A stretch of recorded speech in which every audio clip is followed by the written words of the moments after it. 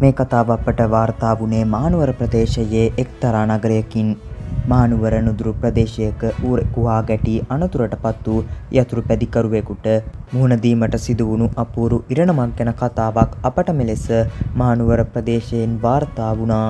වාර්තා වන පරිදි සිද්ධිය සැකවින් මෙසේයි. ඔහු මහනුවර නගරයේ සිට තම ගම් ප්‍රදේශය බලා රැකියාව නිමා වී පිටත් වූ පුද්ගලයෙක්. එදින රාජකාරී බහුල වූයෙන් රාත්‍රී වනතෙක් රාජකාරියේ නිරත වන්නට සිදු වූ දවසක්. එමෙන්ම එදින වැහිබර කාලගුණයක් පැවතුන නිසා වැස්ස පායන තෙක් තවදුරටත් කාර්යාලයේම රැඳී සිටින්නට වුණා. ඒ ඔහු යතුරු පැදියෙන් ගමන් කරන බැවින් පැය කිහිපයක් ගත වූ අතර වැස්ස තුරුළු වූ බැවින් නිවස කරා යන්නට පිටත් වූ ඔහුට අතරමඟදී කැලෑව සහිත පාළු ප්‍රදේශයක පාර හරහා ගමන් කළ ඌරෙකු තම යතුරු පැදියේ ගැටුණා. ඌරා ගැටීමත් සමග ඔහු විසි වී පසෙකට වැටී සිහි විසඤ්ඤ වූ අතර ඌරාද යතුරු පැදියේ ගැටී පසෙකට විසි වී තිබුණා.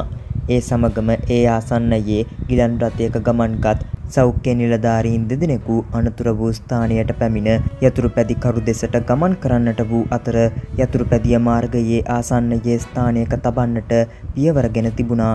ඒ සමගම යතුරු පැදිකරුගේ තත්ත්වය ඔවුන් විසින් පරීක්ෂා කර බලා ඔහු සීමද තත්ත්වයේ පවතින බවද අවබෝධ කරගෙන තිබුණා. ඒත් සමගම නිලධාරීන් තිදෙනා යම් කතාබහක් සිදු කරන අයුරු සිහි එළවාගත් යතුරු පැදිකරු සිහිනෙන් මෙන් දකින්නට වූ අතර ඒ සමගම තමන් රෝහල්ගත කරන්නයැයි ඉල්ලීමක් කර තිබුණා. ඒ දෙස නිලධාරීන්ගේ අවධානය යොමු නොවූ අතර වහා ක්‍රියාත්මක වූ ඔවුන් වැටී සිටි ඌරාද ගිලන් රථයට පටවාගෙන වේගයෙන් ඉගිලී ගියේ තුවාලකරු මවිතයට පත් කරමින්